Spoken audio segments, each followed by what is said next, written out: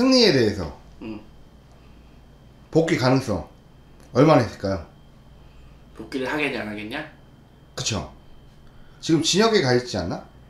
그럴걸요 내가 알기로. 네, 저도 제가 알기로 진역에 가 있는 걸로 알고 있는데 음.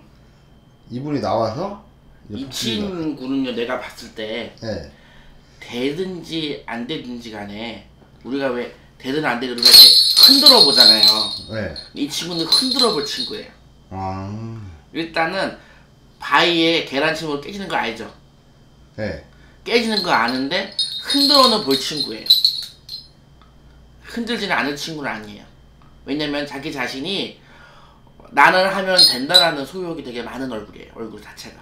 그래서 내가 이거를 했을 때 결과를 얻는 것도 중요하지만 나는 이래도 할 수 있다 라는 걸 보여주기 위해서라도 이 친구는 움직이는 움직이지. 근데 운은 앞으로 향후 한 4, 5년 주기를 운은 바뀌긴 해요.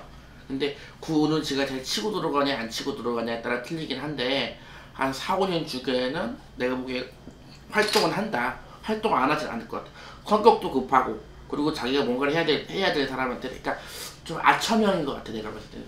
잘하는 사람한테는 되게 강자한테는 약하고 양자한테는 강한 스타일이기 때문에 내가 필요를 위해서 누군가 뭔가를 할 때는 되게 잘하는 사람이라 그 순간에 집중력을 있는 사람이라 한량이긴 한데 그래서 움직이기는 하겠다라고 보여지기는 해요 제가 봤을 때는 그럼 일단은 진역을 갔다가 나와서도 활동 가능성이 있다. 근데 움직이 움직일 거예요. 그리고 내가 해서 안 내면 예를 들어서 엔터테인먼트 빠져서 자기가 뒤에서 2인자로 나가서 뭐 움직이든 아니면 뮤지컬 쪽으로 자기가 좀 움직이든 그냥 이쪽 생활 자체를 자기가 좀 즐기고 남한테 내가 누구다라고 보여주는 거를 되게 많이 좋아하는 거는 같아 내가 봤을 때는요. 음, 어, 그래서 이쪽에 있는 그런 그 여- 자기가 여- 연예인도 했고 최고의 자리도 올라와 봤지만 그래도 항상 이쪽 계통에서 무언가를 했을 때 가장 큰 성취감이나 무언가 자기가 좀 이렇게 떠받들어주는 그런 느낌이 좀 많은 친구 같아서 조금 성격이 바뀌게 돼 사람이 세 살 버릇이 여덟까지 안 바뀌었다 그러잖아요. 그래서 그래서 어릴 때도 한 살, 두 살, 세 살이 제일 중요하기 때문에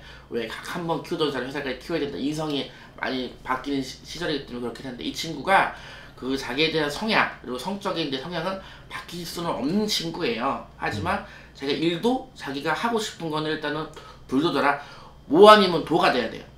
망하거나 흥하거나 그렇기 때문에 어, 안 하지는 않을 거예요. 예를 들어 내가 이걸 해서 안 됐을 때는 뒤로 빠져서 뭐 엔터테인먼트든 아니면 뒤에서 뭐 2인자든 PD든 뭐 이런 감독이든 이런 쪽으로 빠지든 뭐 그렇게 자기가 뭔가를 움직일 친구지 돈물이 있는 친구거든요. 그런 기질은 있어요. 신적으로. 우리 용군 대표님처럼 돈 냄새를 잘 맡아요. 알겠습니다. 나 같을 건가?